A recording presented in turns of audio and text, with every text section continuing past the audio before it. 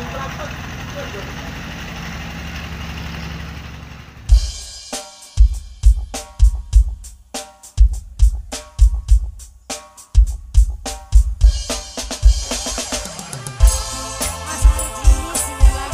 Kang Bapak Sekdes, bawa cakap, Kacung dari